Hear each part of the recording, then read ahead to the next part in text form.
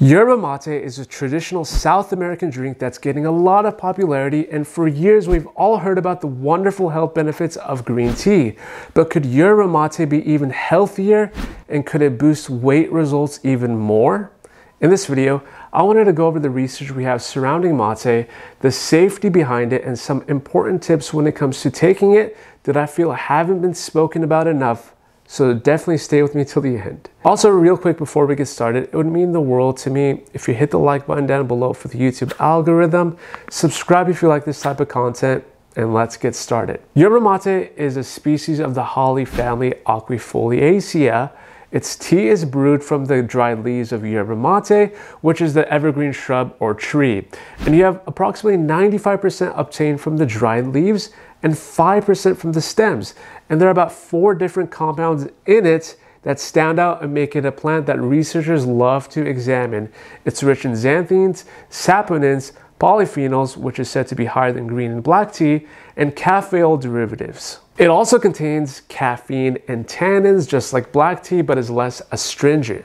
But in terms of how it supports weight loss, I found it really interesting because the study back in 2014, which looked at how yerba mate ingestion augments fat oxidation and energy expenditure during exercise, they took 14 participants, male and female, took capillary blood samples, collected and analyzed for blood lactate concentration at rest, and at each submaximal and maximum power output, and found that yerba mate ingestion to increase the exercise effectiveness for weight loss and sports performance. So, in other words, the weight loss you would already achieve from exercise is now achieved more efficiently with yerba mate. And the most popular research paper on this came from the randomized double-blind placebo-controlled trial looking at its anti-obesity effects over 12 weeks with 30 participants.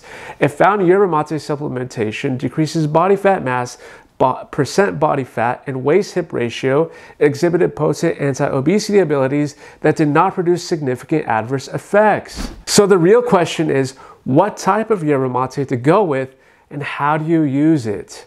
Ideally with this one, organic mate would be best, just so that you know that it's free of smoke byproducts and herbicidal residues. It's also important to avoid roasted and heavily smoked types since it contains higher levels of a compound called polycyclic aromatic hydrocarbons or PAHs that can be potentially carcinogenic.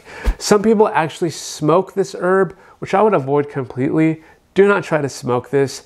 The tricky part is because we don't have enough data to be certain on how much of the PAHs can cause cancer, but we do know from the study on PAHs and the potential source of carcinogenicity of mate that unfortunately safe levels of exposure to benzoyl alpha pyrene, which is a type of PAH, and other potentially carcinogenic PAHs in drinks have not been determined using epidemiological data in humans. Based on rat studies, though, that an exposure of 5 nanograms per kilogram body weight daily, so 350 50 nanograms a day for a 70 kilogram person is virtually safe in humans. So it's not something to fret about entirely.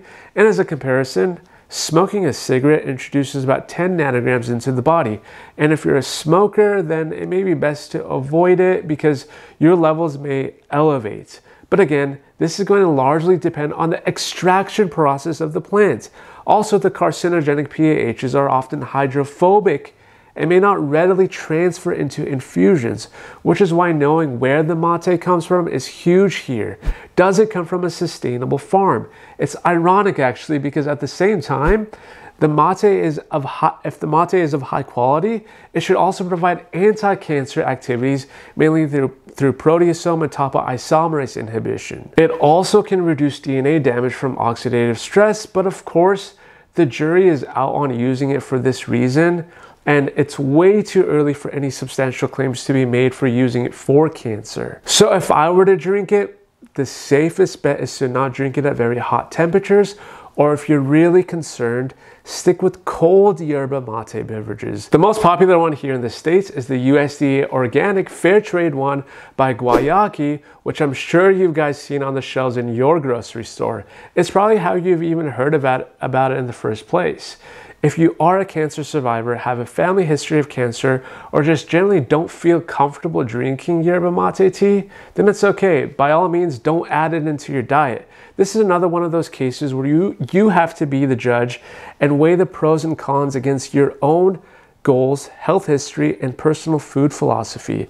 And always talk to your doctor before trying out new supplements to even see if you're the right candidate for them. Because it really isn't for everyone. For example, it may agitate some people with hypersensitivity to caffeine, and it's also not suitable in pregnancy, breastfeeding, or in children. This was just one of the many conditions in which yerba mate was researched in. I can do another video discussing more if you'd like, just let me know in the comments below. But I'm more curious to hear from you guys though. Let me know in the comments below. Also hit the subscribe button too if you found any value in this, and I'll see you on the next one.